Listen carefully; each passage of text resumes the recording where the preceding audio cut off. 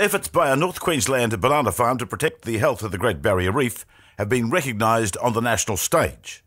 Based near Silkwood, just 10 kilometres from the reef, Gaia Farms recently won a category of the 2011 Banksia Awards, the country's most hotly contested environmental accolades. The family business was presented with the Agriculture and Food from Paddock to Plate Sustainability Award for demonstrating leadership and innovation in moving to more sustainable and productive agricultural practices. We've invested in improving soil health on our farm, and as such, we wish to protect this valuable asset. We're mindful of the fact that we're surrounded by waterways and in close proximity to the Great Barrier Reef. We've implemented a number of practices to improve soil and water management.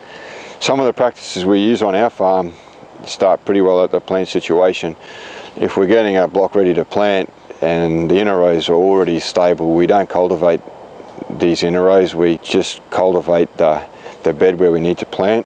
When cultivation is required or maintaining our rows, we always try and do these in the dry times of the year to avoid any soil loss.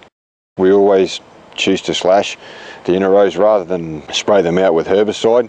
The drains are also grass so that we don't have erosion. When we manage our trash, we put the harvested heads and any other trash on the row and we don't leave it out in the interrow. During a period of fallow, we try and have a fallow crop to not only reduce the soil erosion but also build up organic matter for the following crop. Road and drain maintenance is ongoing to keep any other soil from moving off them. We've undertaken several revegetation projects on our farm with the aim of trying to stabilise the creek bank and also to improve our biodiversity. Even though these practices are in place, they still require ongoing maintenance and improvement. Sediment management starts in the block, so the wetland is part of a complete system. So this area of the farm essentially was a, a lost area so far as banana is concerned. It was the ideal situation to, to try and put in some sort of wetland as such or catchment area. The relevant departments got involved. It's Terrain NRM, DD and, and Growcom. And with help from them, guidance as such, our work towards the build, the construction of the dam, which we did ourselves. We took all the levels and did it. Um, and then for the vegetation part, which we started and we're still doing, and I suspect is going to take some time yet, uh, and that was with the help of Carla Wigchild. The whole thing is designed to serve a purpose, and that's the idea. This constructed wetland has been designed and built specifically to capture and treat runoff. Modelling was undertaken to look at runoff from the banana farm. There are two distinct catchments on the farm this western catchment has an area of 26 hectares and also includes a packing shed.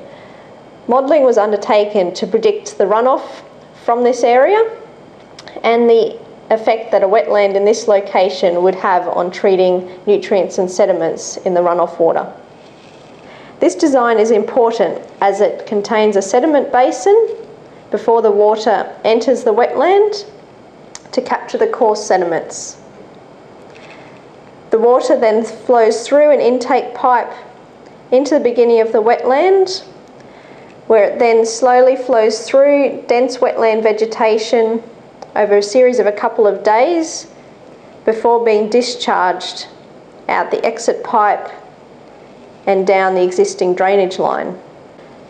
The wetland is designed to be long, narrow and shallow.